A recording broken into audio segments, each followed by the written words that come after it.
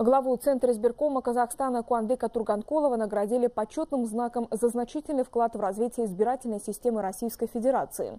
Награду председателю комиссии вручили представители Российского Центрального избирательного органа.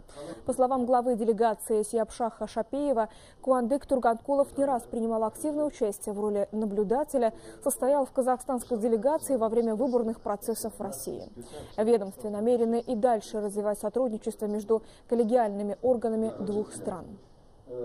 Конечно, мы это очень высоко оцениваем. Наверное, точно так же мы тоже относимся, к, в свою очередь, к выборам Республики Казахстан.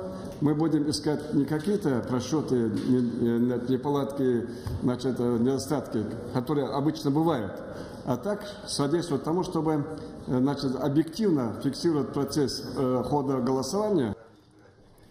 Во время встречи глава Казахстанского центра избиркома и российские делегаты обсудили прошедшую предвыборную кампанию. Иностранные наблюдатели отметили, что процесс проходил в соответствии с национальным и международным законодательством. В течение дня запланирован еще ряд встреч руководства центра избиркома с зарубежными наблюдателями. Уже прошли переговоры с делегатами из Туркменистана и Таджикистана. Как отмечают международные наблюдатели, важно, что на завтрашних выборах возможность проголосовать будет и у людей с ограниченными возможностями властями. По словам международного наблюдателя из Индии, у них такой практики нет и хорошо было бы внедрять ее во всем мире.